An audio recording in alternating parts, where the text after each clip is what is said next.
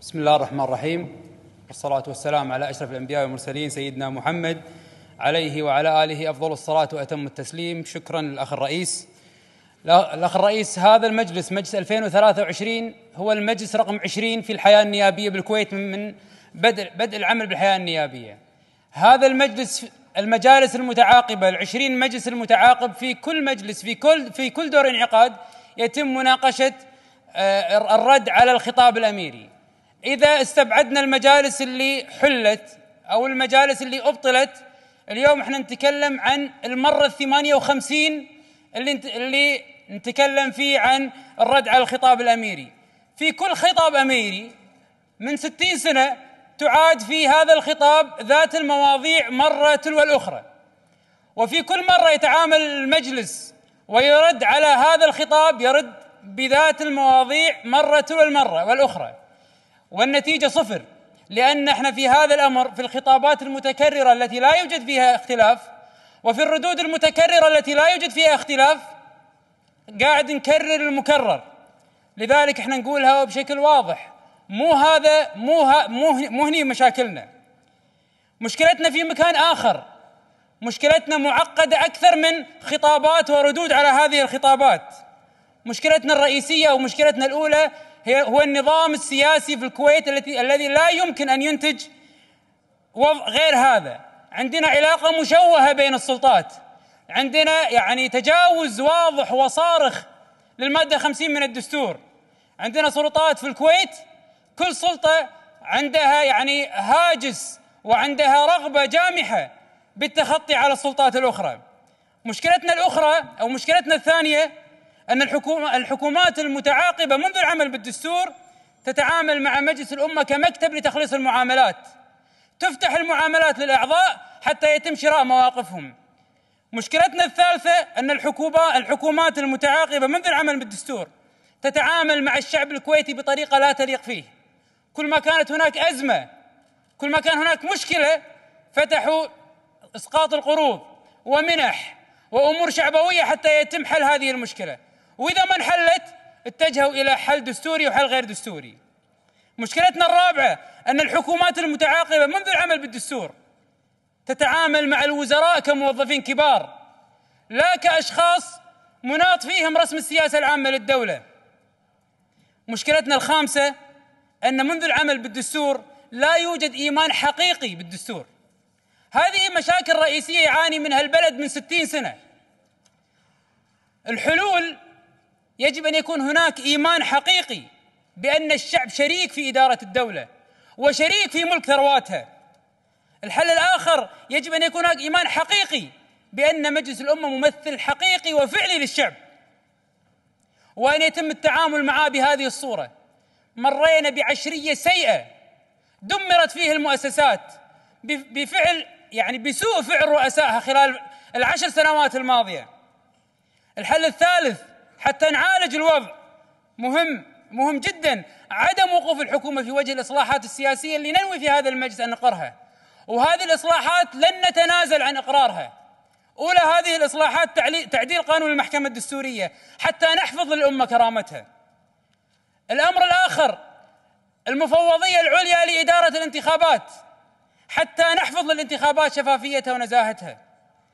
الأمر الثالث يجب أن يعدل قانون الانتخابات حتى يصل للمجلس أعضاء يحملون برامج حقيقية. الأمر الرابع من الإصلاحات اللي لن نتنازل عنها تعديل اللائحة الداخلية لمجلس الأمة حتى يستطيع أن يمارس المجلس دوره على أكمل وجه. بدون هذه الإصلاحات لا نتكلم عن إصلاح ولا نتكلم عن تنمية ولا نتكلم عن إنجاز.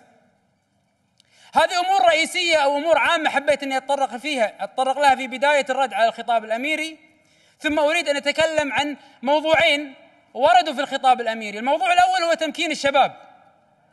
وتمكين الشباب يجب أن يبدأ بالالتفات إلى الشباب المسجلين على الباب الخامس. هذه الشريحة من الشباب بالمئات.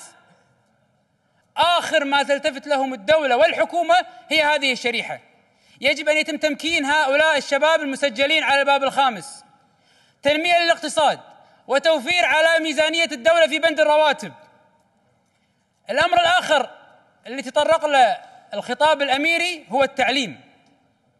سنوات يذهب وزير تربية ويأتي وزير تربية آخر تذهب لجنة تعليمية وتأتي لجنة تعليمية آخر. يناقش المجلس مجلس وراء مجلس موضوع الموضوع التعليم. ودون جدوى والنتيجة صفر لأن إحنا مو قاعد نناقش لا المجلس ولا الحكومة قاعد تناقش أساس المشكلة في ملف التعليم. مشكلة التعليم مشكلة هيكلية رئيسية. اللي يشرف على التعليم عندنا ثلاث هياكل في الدولة. المجلس الأعلى للتعليم اللي يضع السياسات العامة للتعليم ويشرف عليها وزير التربية. ثم عندنا وزارة التربية التي تنفذ السياسات اللي يصدرها المجلس الأعلى للتعليم ويشرف عليها وزير التربية. ثم عندنا المركز الوطني لتطوير التعليم اللي يراقب أداء الوزارة لهذه السياسات ويشرف عليها وزير التربية. هذا التداخل في هذه الهياكل ستعطل أي عملية منتظرة في إصلاح التعليم. لذلك يجب أن تلتفت الحكومة إلى هذا الأمر. يجب أن يفك يفك التشابك بين هذه الهياكل الثلاثة حتى يرجع للتعليم إمكانية إن إحنا نطوره. الأمر الآخر في ملف التعليم وهذا اهتمام الدولة في التعليم ورد في الخطاب الأميري وكذلك في برنامج عمل الحكومة تكلموا عن جامعة عبد الله السالم. وأنا اليوم وزير التربية موجود رئيس الوزراء يسمعني. جامعة عبد الله السالم راح تفتح أبوابها في 24 9 إلى اليوم لم تعين عضو هيئة تدريس واحد. جامعة عبد الله السالم إلى الآن ما فيها مدير. جامعة عبد الله السالم في اجتماع اللجنة التعليمية الأسبوع الماضي المجلس التأسيسي يقر لن يتم تعيين مدير قبل بدء العام الدراسي. جامعة عبد الله السالم كل اللي قاعد يقوم في حل يعني تسجيل الطلبة فيها واختبارات القبول للطلبة هي جامعة الكويت. لذلك أنا أنبه الحكومة وأنبه الأخ وزير التربية بالتكليف وزير التعليم بالإنابة أن الحكومة ستواجه مشكلة كبيرة في شهر تسعة عندما تفتح جامعة عبد الله السالم أبوابها.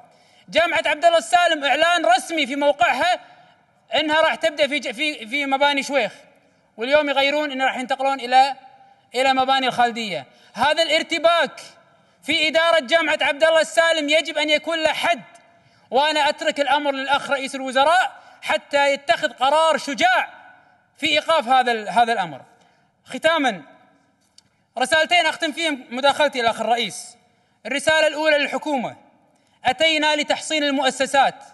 وأتينا لتحصين النصوص والدستور. لم نأتي لتحصين الأشخاص. ما يحصن الحكومة ووزرائها إنجازها ومواقفها في الملفات الملحة واحترامها للمجلس وأدواته.